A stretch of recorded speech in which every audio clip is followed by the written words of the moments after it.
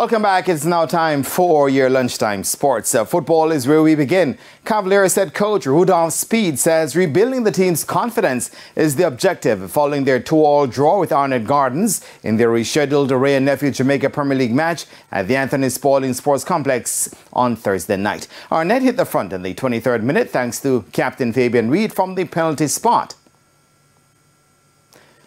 But that was cancelled out in the 33rd by Kyle Ming.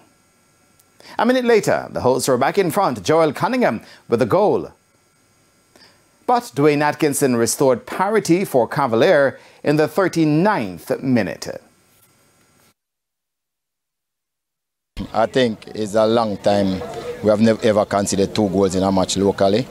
I just believe that um, with our soldier um, game against Cincinnati, I think we probably lost a bit of confidence in who was supposed to do what.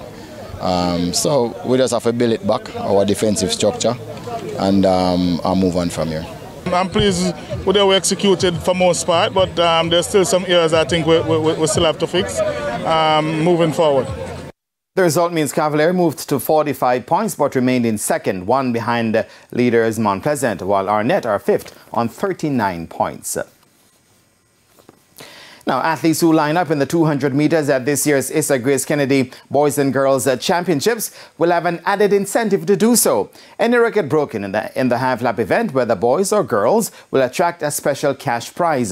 Don Wehby, CEO of the Grace Kennedy Group, says the incentive is to help mark the 102nd anniversary of the group.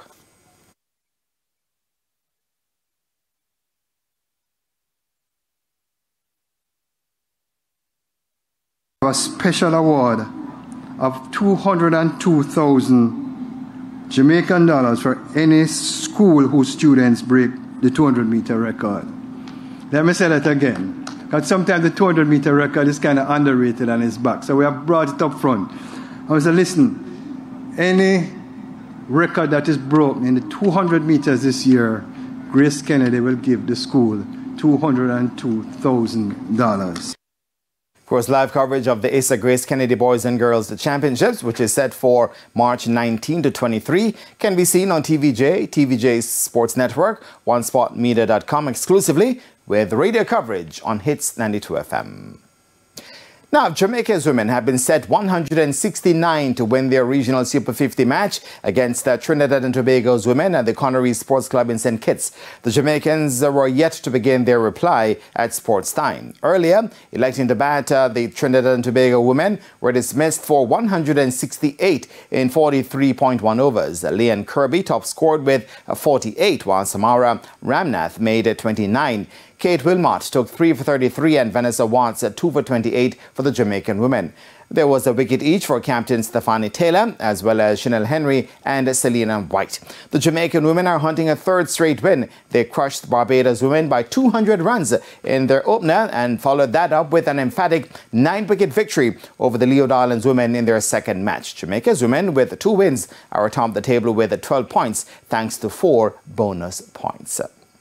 And finally, Shane Pitter and Tyreek Buckner became the first Jamaicans to receive a medal in bobsleigh at the Pan American Junior Bobsleigh Championship on the way in Lake Placid, New York. They picked up bronze in the two-man bobsleigh. Pitter, the pilot, and Buckner, the brakeman, ended third behind American winners Grady Mercer and Logan Radick, with the Brazilian pair of Gustavo dos Santos Ferreira and Onias uh, Merbel uh, finishing second. And that's where we get off the ice uh, for now. And I am Jeremy Brown. Shane, back to you. Thanks, Jeremy. And that's the midday news. I'm Shane Masters. Join us at 7 for primetime news on behalf of the news, sports, and production teams. Have a good afternoon.